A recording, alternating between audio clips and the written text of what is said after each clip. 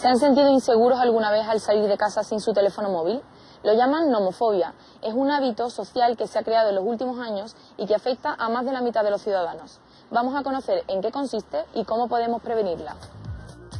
España es el país con más teléfonos móviles por habitante. El 96% de los ciudadanos tiene móvil. Muchos de ellos incluso tienen más de uno.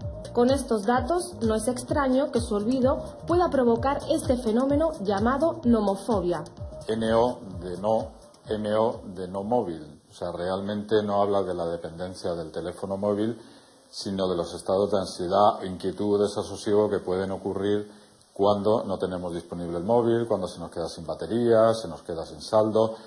Realmente no es una fobia, una fobia es un miedo irracional a determinadas situaciones pero eso está fundamentado en unos criterios científicos y médicos que en este caso no se cumplen. Supone un adelanto tremendo y seguramente es un hito importante en el desarrollo de la sociedad el que podamos ir a cualquier sitio y en el mismo acto podamos consultar e interaccionar con los demás a través de Internet.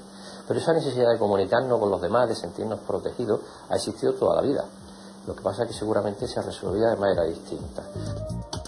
Queda claro que no se puede hablar de patología, sino de una mala práctica social.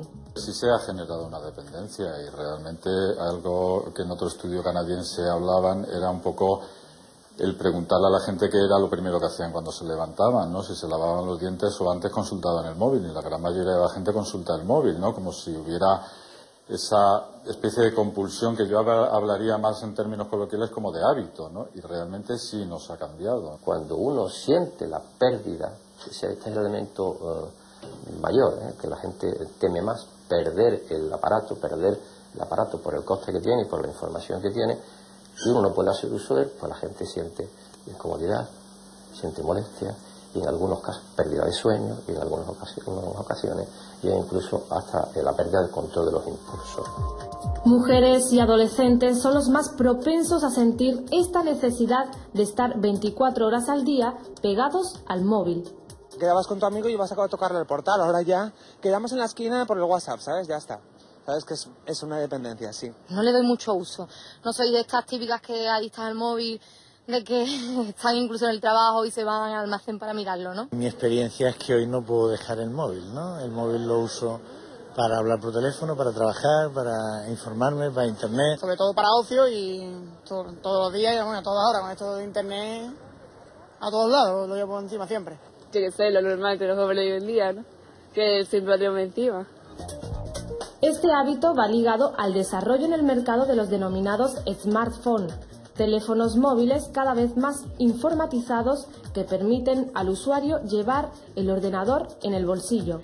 2012 se ha vendido muchísimo, estamos hablando de duplicar o triplicar las ventas en teléfonos móviles, smartphones y en tablets.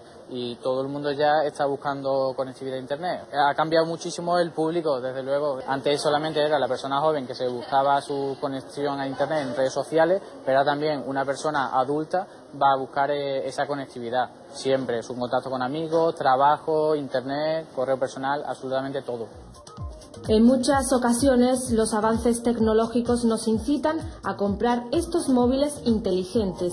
En otras, la causa que nos obliga a hacerlo es el trabajo. Hace poco contratamos un servicio de guardia de 24 por 7 en la empresa y bueno, los compañeros tuvimos que pasarnos el móvil de empresa de guardia y es un contrato muy importante y como importante que es no podemos fallar. Entonces He tenido que volverme a mi casa por el móvil, eh, buscar un cargador donde no había. Cuando estaba de fiesta en Navidad, por ejemplo, le pedí a mi madre que me cambiara el móvil. O sea que evidentemente estoy muy enganchado al móvil en ese aspecto. No es una cuestión tanto de estar conectado o no, sino del uso que se hace de ese aparato. Seguramente estamos más en un proceso de tener que educar, generar nuevos hábitos y establecer nuevos patrones de control sobre el móvil que, que de apagarlo o eliminarlo. Aunque el uso frecuente del móvil puede hacer sentir a las personas que están conectadas, lo cierto es que llevado al extremo puede llegar a provocar el efecto contrario. Sí, es verdad que la gente está muy comunicada, porque están las redes sociales, está el Twitter, está el bombazo del último año que ha sido el WhatsApp y todas estas mensajerías instantáneas Pero si uno lo piensa, se pierde algo que es lo más importante en la comunicación, ¿no? que puede ser el contacto visual y el contacto interpersonal. ¿no? Lo primero sería tomar conciencia, tomar conciencia de qué uso es el que estamos haciendo nosotros del móvil. Y pasa por tareas como plantearnos cuándo lo usamos, cuántas horas, cuántos momentos le dedicamos a pensar dónde lo tenemos, qué pasa si no contesto un mensaje que me ha llegado el mismo momento a partir de reconocer cuáles son esos patrones que yo tengo en la relación con mi propio móvil, lo siguiente es establecer cuál es el que quiero tener.